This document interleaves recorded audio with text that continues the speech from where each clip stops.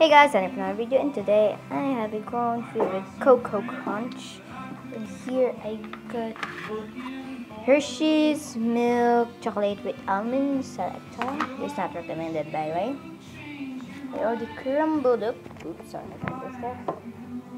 Then I was going to put this to my cone, but I can't put it because I can't hold the camera and put ice.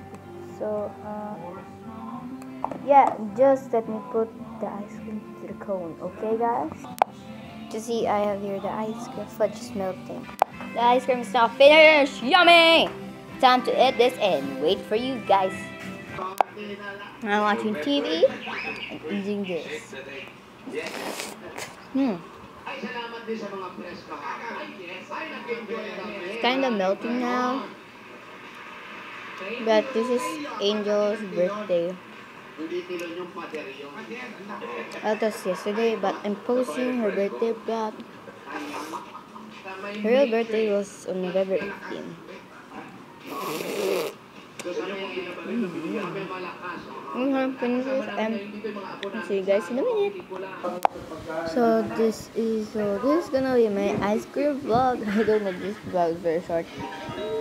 So I'll see you guys in my next video.